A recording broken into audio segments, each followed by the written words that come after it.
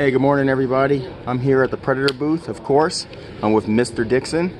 And today, Mr. Dixon is going to do an unveiling for us. Hey, Dick, what do you got there today? Oh, this is this is fantastic.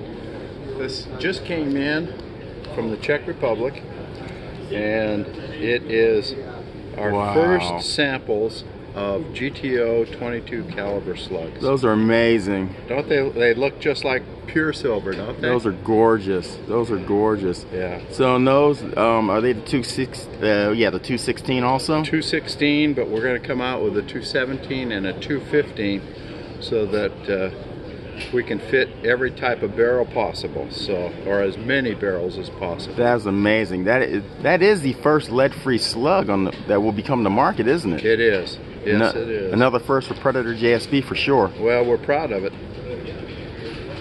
Very proud and you were it. an instigator. Oh, not me.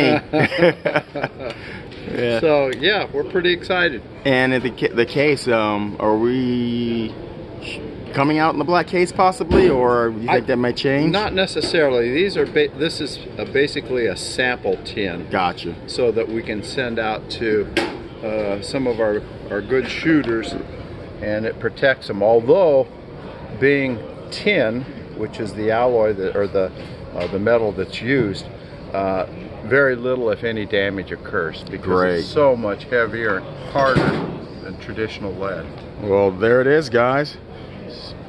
Straight from our mouth to your ears. The new lead-free slugs. Well, now will these um, be called GTO slugs or the comfort case slugs? We don't know yet. Thanks, Dick. You're pushing the envelope. Oh, we're trying. Thank you.